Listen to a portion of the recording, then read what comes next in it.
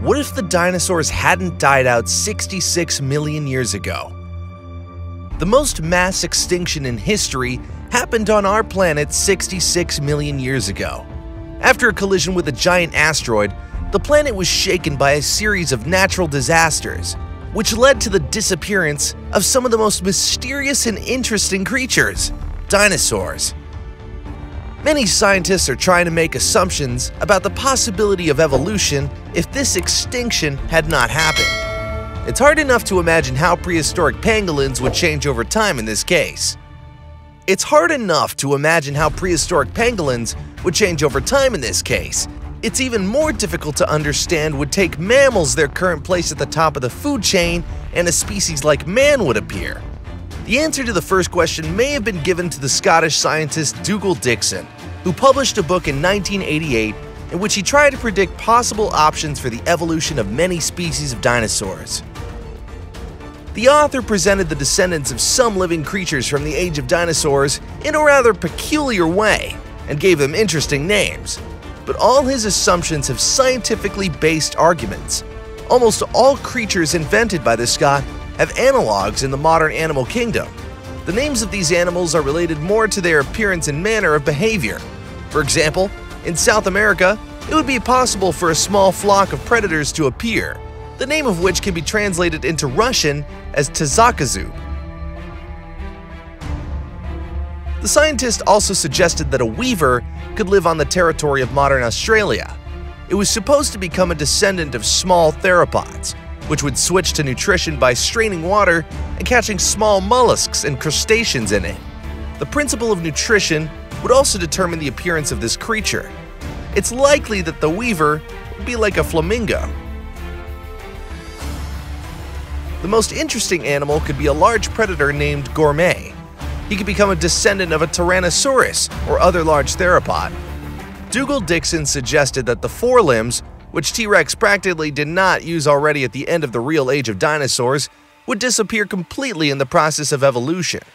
The scientists also suggested that for faster ingestion of prey, the jaws of this creature will become elastic, like modern snakes.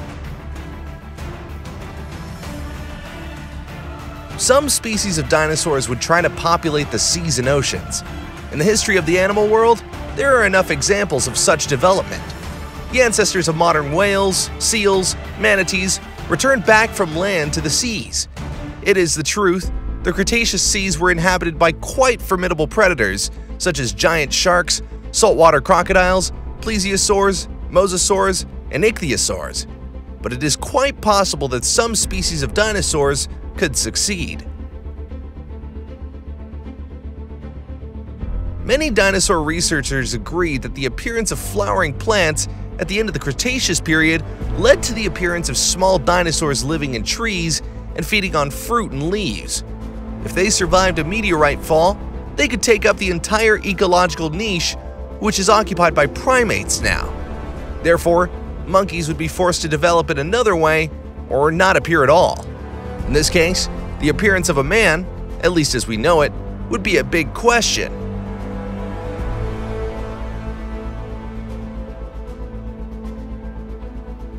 Of course, raptors that have survived to our times would not resemble their giant ancestors from the age of dinosaurs. Most likely, they would significantly reduce in size and develop new survival mechanisms, adapting to changes in climate, water, and air composition, the appearance of new species of plants and animals. But the fate of mammals in the event of the survival of dinosaurs would be unenviable. The ancestors of the planet's modern hosts lived side by side with dinosaurs for about 166 million years, but were never able to come out from their shadow. Giant raptors died out just 66 million years ago.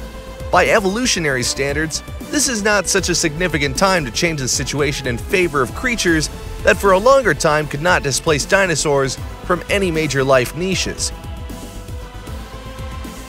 But if we assume that the planet and all life on it after the end of the Cretaceous period began to develop in parallel with the remaining dinosaurs in the same way as it happened after their extinction, it can be even assumed that the first people appeared in the same way as in the history we know, but lived simultaneously with the descendants of dinosaurs.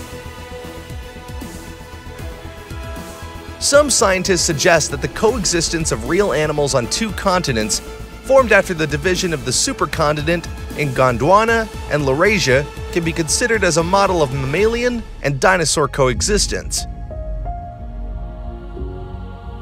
These continents diverged at the moment when the first placental mammals began to appear on the planet. But none of them managed to get into Laurasia. At that time, both continents were inhabited by various species of birds, including giant flightless predators, reptiles, and amphibians prospered on Earth. In the Gondwana territory, placental mammals have taken control, and only marsupials remained in Laurasia. The territory of Gondwana included modern Australia and South America. It is known that on these continents, marsupials could not make up serious competition for crocodiles, large monitor lizards, and birds of prey. And in the territories that were part of Laurasia, mammals have risen to the very top of the food pyramid.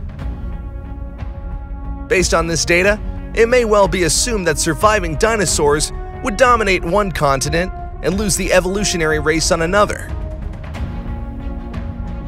It is possible that with the further drift of continental plates, these two worlds would begin to collide in different parts of the planet, and the descendants of dinosaurs would gradually give up their positions.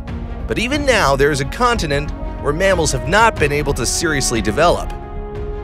Therefore, surviving dinosaurs could live in Australia and feel quite comfortable there in our time. Given their greater adaptability and more efficient mode of movement, dinosaurs here could greatly squeeze crocodiles and giant monitor lizards. You've watched another video of the Dinosaur Age channel.